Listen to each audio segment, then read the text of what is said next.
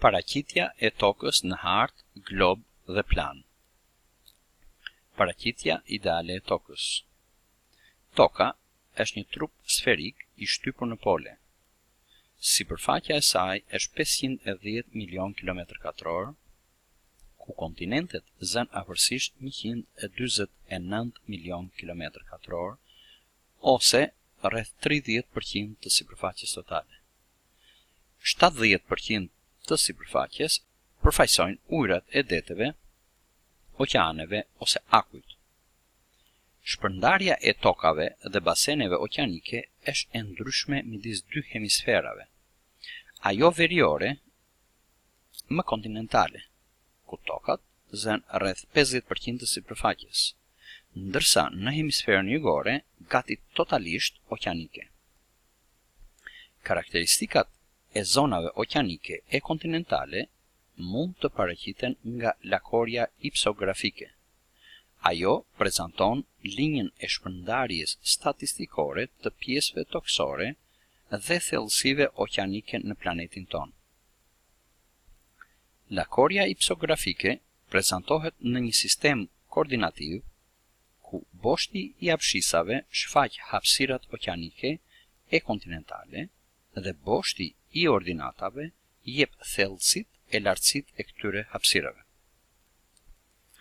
Nga vëzhgimi i kësaj lakoreje rezulton se thellësitë mesatare e oqeaneve është tre mijë e tetëqind metër, lartësia mesatare e kontinenteve është tetëqind e dyzet metër, pika më e lartë tokësore është maja e Everestit tetë mijë e tetëqind e dyzet e tetë metër. Thellësia maksimale i takon humnerës oqeanike Cook në ishujt Filipine me mbi njëmbëdhjetë mijë metër. Masat e mëdha tokësore të rrethuara nga ujërat e oqeaneve dhe deteve quhen kontinente, dhe ato ndahen në pesë masa të mëdha, Euro-Azia, Amerika, Afrika, Australia e Antarktida.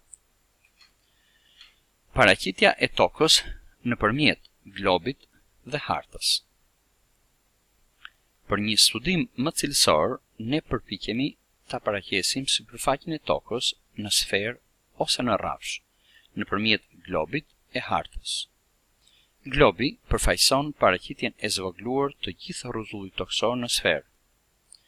Kjo paraqitje ka disa anë pozitive sepse na jep një përfytyrim shumë të mirë të formës së tokës në hapësirë, të lëvizjes ditore të tokës rreth vetes, për boshtin e tokës, ndërtimin e rrjetit gjeografik, për këndin e boshtit të tokës me planin e eliptikës dhe ndikimin e tij në krijimin e stinëve, për efektin Coriolis të zhvendosjes horizontale të trupave që fluturojnë në gjerësi të ndryshme gjeografike sipas një meridiani. Përtej anëve pozitive, sasia e informacionit që ne marrim prej globit nuk është mjaftueshme. Kjo lind nevojën e pasqyrimit të sipërfaqes tokësore në rrafsh nëpërmjet hartave. Harta është paraqitja e zvogëluar në rrafsh e gjithë sipërfaqes së Tokës ose e pjesëve të veçanta të saj në bazë të rregullave matematikore. Me anë të hartës u zgjidh mungesa e informacionit që sillte globi, sepse hartat paraqitnin më shumë të dhëna lidhur me elementet që gjenden në terren. Por hartat mbartnin qysh me krijimin e tyre një të metë serioze, që është shformimi. Paraqitja e tokës nëpërmjet planit Një mjet tjetër i përdorshëm për paraqitjen e territoreve të caktuara është edhe plani.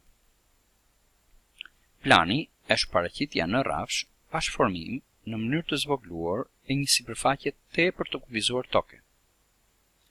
Sipërfaqja e vogël jep mundësi që paraqitja e territorit të jetë e saktë, pa deformime të dukshme. Në plan nuk kemi paraqitje të rrjetit hartografik të meridianëve e paralelëve, si dhe objektet jepen të para nga lart. Kështu në plane paraqiten objekte të ndryshme si shtëpi banimi, uzina, fabrika, spitale, fshatra e qytete, rrugë e të tjerë, në të cilat përmasat e tyre si gjatësia e gjerësia jepen me saktësi tepër të madhe. Ato na japin në këtë mënyrë, në dallim nga harta, një informacion tepër të hollësishëm. Hartat e planet kanë rëndësi të madhe në veprimtarinë e përditshme të shoqërisë njerëzore dhe përdoren gjerësisht si një mjet për realizimin e studimeve praktike e shkencore.